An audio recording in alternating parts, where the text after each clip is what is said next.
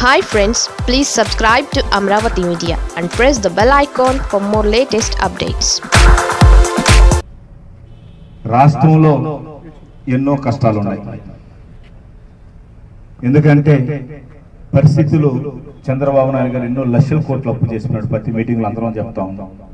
మామూలుగా అప్పు చేసేసి ఇంకొని బయట అప్పులో ఉండవు నీకు ఎందుకు ఇస్తావా అంటారు. అయినా ఈ టైంలో జగన్మోహన్ రెడ్డి గారు చంద్రబాబు నాయుడు గారు ఐదు వేల కోట్లు ఇస్తానని చెప్పి దాంట్లో కనీసం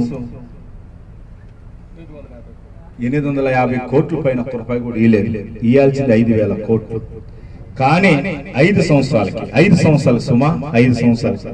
జగనన్న ఒక్క సంవత్సరానికే అన్న అశోక్ అనేది చెప్పాడు విశ్వనాథ్ అనేది చెప్పాడు చెప్పారు? రెండు వేల ఎనిమిది వందల నలభై సంవత్సరాలు అంటావే నలభై సంవత్సరాలు తగ్గిపోయినా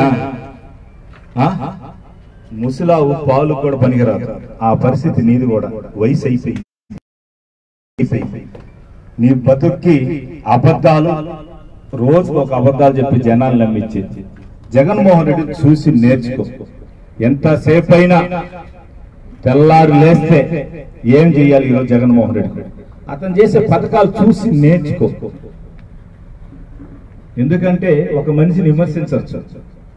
అదే పనిగా తెల్లారులేస్తే ఏం చెప్పాలి ఈరోజు జగన్మోహన్ రెడ్డి ఈ రోజు కాపు తెచ్చాడు ఇచ్చాడు.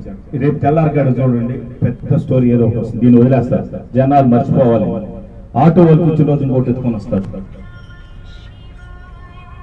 నాయ బ్రాహ్మణికి ఇచ్చిన రోజు ఇంకో బుషి ఎత్తుకొని వస్తాడు.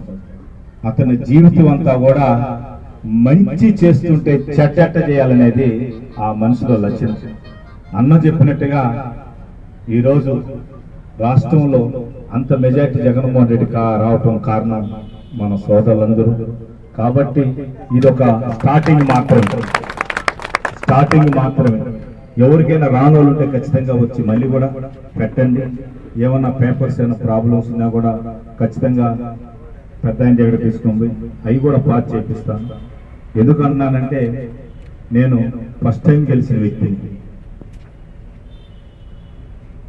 నేను ఇక్కడనే తెల్లారితో నుంచి సాయంకాలం నాకు ఈ ఆఫీసులో ఉంటాను. నేను నా కూతురు ఇద్దరు.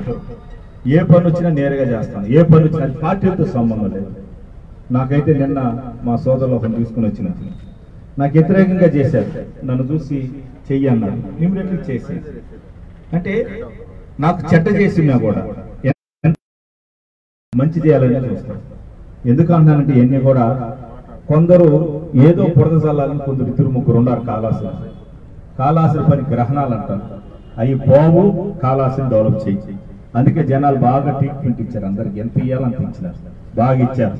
మంచోడిని ఎప్పుడు కానీ దేవుడు స్లోగా పైకి తీసుకొని పోతాడు చెడ్డోని ఫాస్ట్ తీసుకుని కింద వేస్తాడు. ఎప్పుడు ప్రజల్లో మంచి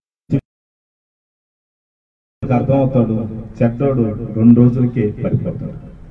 కాబట్టి రకరకాలు సృష్టించిన జనాలు నన్ను ఈరోజు ఆశీర్వదించారు. జగన్మోహన్ రెడ్డి గారు ఈరోజు రాష్ట్రంలో ఈ టైంలో కూడా అందరికి కూడా ఈరోజు సహాయం చేస్తున్నాడు. ఆయన సల్లం ఉండాలి మనందరం కూడా. ఎప్పుడైనా సరే దేవుడికి దండం పెట్టినప్పుడు రోజుకు ఒకసారి మన కుటుంబం బాగుండాలనుకుంటాం జగన్మోహన్ రెడ్డి కూడా బాగుండాలని కోరుకోవాలి. ఎందుకంటే రాజ్ చేసే ఆ పక్కన చంద్రబాబు నాయుడు గారు. అన్ని యజ్ఞాలు చేస్తాం. చే- జగన్ ఏమైనా అయిపోవాలి జగన్ మంది చేయాలి. వాళ్ళన్ని మంత్ర తంత్రాలు తెలిసిన వ్యక్తులు ఉండేవాళ్ళు. ఎవరు? చంద్రబాబు బ్యాచ్ నిన్న కూడా చూసాం మనం. ముగ్గురు. నేను ఏదో చెప్తున్నాడు. ఎవరు ఒక పెద్ద మనిషి. ఏం పోతే తప్ప అంటాడు.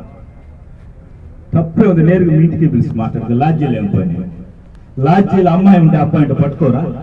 రేపు నుంచి ఆపేసి అమ్మాయి అబ్బాయి తప్పు లేదు లాడ్జీలో. ఏదే? కొన్ని కార్యక్రమం చేస్తుంటారు కదా. దాన్ని తప్పు అంటాం కదా. పట్టుకొని వాళ్ళని తప్పు చేశారు మీరు మిమ్మల్ని అరెస్ట్ చేస్తున్నాం అంటున్నారు. నిన్న చెప్పడం వీళ్ళు ఒక లాడ్జీలో ముగ్గురు పోయినాడు ఏం పని ముగ్గురికి? ఎలాగడ తీసుకొని పోవచ్చు కదా? దొంగలకి ఏం పని? అంటే ఇలా బతుకంతా కూడా అబద్ధాలు. ఈ మాకు దేవుడు ఉన్నాడు పైన దేవుడు ఉన్నాడు. ముగ్గురు ఒకే దగ్గర పోయి కలిసిన వీడియోస్ అన్ని కూడా పేపర్లో చూస్తుంటారు మీరందరూ కూడా. ఇది మంచి పద్ధతి గారు చంద్రబాబు నాయుడు గారు మన జిల్లా వాసి ఇప్పుడన్నా కరోనా టైంలో వచ్చింటే బాగుంది ఆ మహానుభావుడు జిల్లాకి రాలా. అదేమంటే విజయవాడకు వచ్చినాడు. విజయవాడకు వచ్చి ఎప్పుడు? అన్న చెప్పినట్టుగా ఆయనకి మహానాడు కోసం ఒక రోజు వచ్చినాడు షూటింగ్ ఉండిందండి మేకప్ వేసుకుని వచ్చేసినాడు. మళ్ళా ఆయన అరెస్ట్ చేశారు కదా అది రాజేశ్వరి ఉంటాడు మన అచ్చం అన్నమాట అచ్చం నాయుడు గారి. ఆయనకి ఆయనకి అడవరంటాం చూడు. ఏందో పెద్ద బైపాస్ బైపాస్ ఏది? ఆపరేషన్ చేసినట్టుగా దాన్ని. అని చూపించడానికి ఆయనకి ఏదో అయిపోయింది. ఎవరికైనా మూట్లో హీట్ అయితే కారు ఇది ఏమైపోతుంది?